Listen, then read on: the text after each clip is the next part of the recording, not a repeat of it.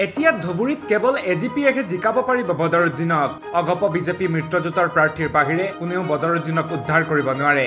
এ G পিয়ে ধুবুৰীত প্ৰক্ষেপ কৰা জাভেদ ইছলামী বদৰুদ্দিনক দিব পাৰে মৃত সঞ্জীৱনী ইমান দিনে ধুবুৰীত কষ্টই কৰিবলগীয়া হোৱা নাছিল বদৰুদ্দিন আজমলে। এইবাৰ কিন্তু ককায়েকৰো হাঁহি ল'বলগীয়া হৈছে আগৰ সম্ৰাটে।